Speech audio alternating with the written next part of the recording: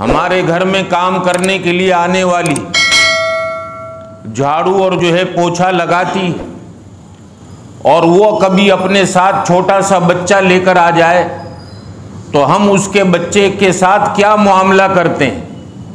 अगर वो हमसे कहे कि मेरा छोटा बच्चा सोया हुआ है, क्या मैं आपके बच्चे की झोली में मेरे बच्चे को सुलाऊं?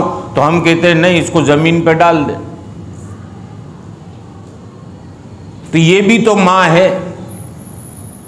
मेरा ये लफ्ज़ इसके दिल पर कितना असर करेगा और अंदर अंदर रोते हुए ये कहेगी कि या अल्लाह इनके बच्चे के लिए अलग और मेरे बच्चे के लिए अलग मामला हो रहा है। अल्लाह, तू देख रहा है, तेरे यहाँ देर है, अंधेर नहीं। इंसाफ दिला दे, कहीं वो वक्त ना आ जाए कि तेरी औरत इसके घर पर पोछा मारने के लिए जाए और वो अपने बच्चे को कहे कि मैं इसमें सुलाऊं।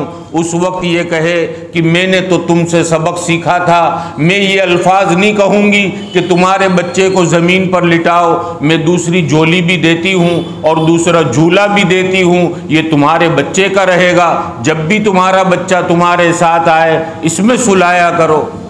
ये तालीम शरीयत की वक्त बदलते देर नहीं लगती।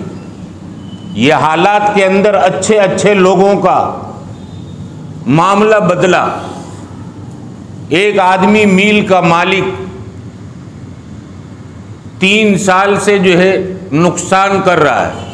मेरे पास आया और कहने लगा, मौलाना, हालात इतने बिगड़ चुके हैं कि मैं जो है फुटपाथ पर माल रख कर बेच रहा हूँ। मैं एसी के अंदर बैठने वाला, आज जो है ये फुटपाथ पर बेच बैठ कर बेचने में बड़ी शर्म आती है।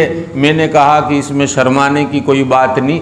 हालात हैं, वक्त है और वक्त जो है बदलेगा, ये हमेशा नहीं रहेगा। आप जो है हलाल कारोबार करते रहो और जो है अपना जो कर्जा है उसकी अदायगी की नीयत रखो और अदा भी करते रहो। इन अल्लाह फिर से जो है उरूज पर ले जाए